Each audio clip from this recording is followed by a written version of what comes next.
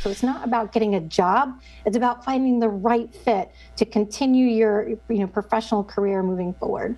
American Corporate Partners, or ACP, has helped find what's next for those who have served our country. Their mentoring program lasts for one year and is open to post 9 11 veterans, active duty military spouses, and more. A mentor in the private sector helps a mentee with resumes, networking, and job interviews.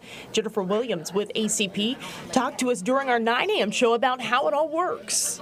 For one hour every month, they get together, whether it's through video call, email, text messages, phone calls. Um, for one year and work on the goals. So we find that, you know, when we focus on um, some of the greatest challenges that our veterans face, which is number one, deciding what's next. What's your next career? Uh, translating skills and networking. A mentor can be completely beneficial, not, not just for overcoming challenges, but for crushing those goals.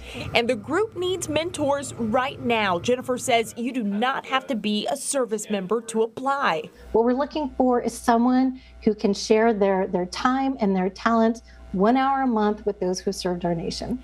To find a mentor application and more details, head to the SC on section of KOCO.com. Kylie Walker, KOCO 5 News.